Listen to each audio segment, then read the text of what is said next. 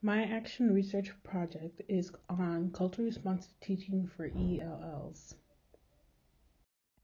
Hello, my name is Asari Ephraim. I'm a fifth generation teacher. My great great grandparents started the first school in their parish in St. Elizabeth, Jamaica. I'm first generation American. My dad is from Nigeria and my mom is from Jamaica.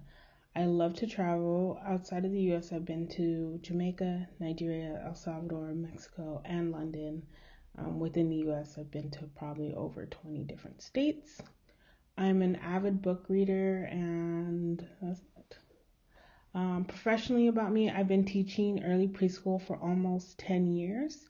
I've worked with ages as young as three months up to five years old. I've worked in the private, public, and nonprofit programs. Currently, I'm working in a combination of a nonprofit and public Head Start um, program, and I have been in my current position for the last three years as a lead teacher. Here are a few pictures of where I currently teach. As you can see, we are opened on site during COVID. We're considered essential workers. We're one of the few schools open within our district. Um, as you can see, one year olds do not understand the concept of social distancing, but we do the best we can and we love our kids. So, on to the research project. Um, my topic is cultural responsive teaching, also known as CRT, and working with English language learners, ELLs. My two research questions are Does culturally responsive teaching benefit ELL learners? And what barriers need to be addressed to resolve the lack of culturally responsive teaching in the classroom, as um, we will go over later. But first, I will go over what is CRT. What is CRT? Cultural responsive teaching is a pedagogy that recognizes the importance of including students' cultural references in all aspects of learning. This is um, a quote I read from Ladson Billing, also known as Gloria Ladson Billing. She's the pioneer that created the CRT pedagogy. Um, another well known author is Geneva Gay. She has a lot of research and she's an author on her own version of CRT. And then more recently, you will hear works from Zaretta Hammond, whose book on CRT is currently required reading in many teaching education programs and districts. Um, also, the Education Alliance at Brown University stated to be culturally, culturally responsive, you must have positive perspectives on parents and families, communications of high expectations, learning within the context of culture, student centered instruction, culturally mediated instruction, reshaping the instruction or curriculum, and teachers as facilitators. You can um, find that and more information at the Education Alliance at Brown University. Now we will discuss why it is important to investigate this topic. Um, so, first, part of understanding why it's important, you need to understand the history of ELLs. Um, before the No Child Left Behind Act and the Common Core standards, there were minimal to no standards for um, proficiency for ELL learners. So, under the No Child Left Behind Act and the Common Core standards, new federal requirements for English language proficiencies were created.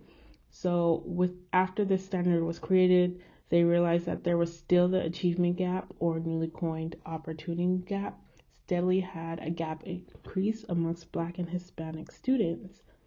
And according to the US Department of Education, there were more than 840,000 immigrant children who attended US schools in 2014 and more than 4.6 million English language learners.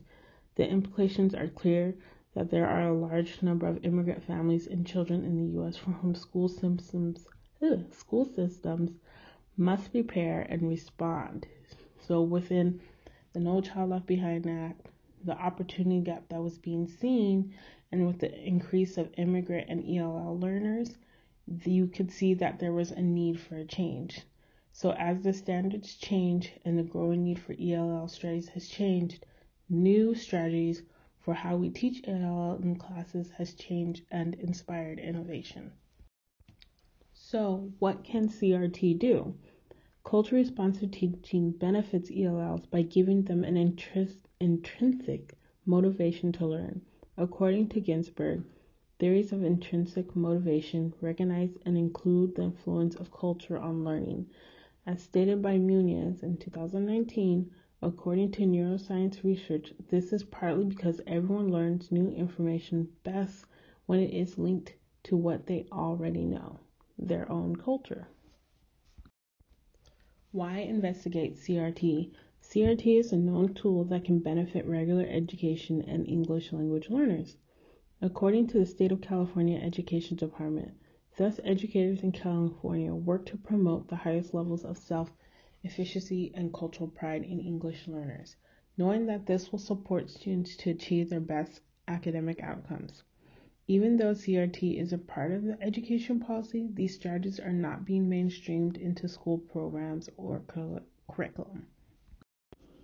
So I believe that investigating CRT will help um, bridge the gap because even though there are, is research, there is not enough research to support CRT in the classroom.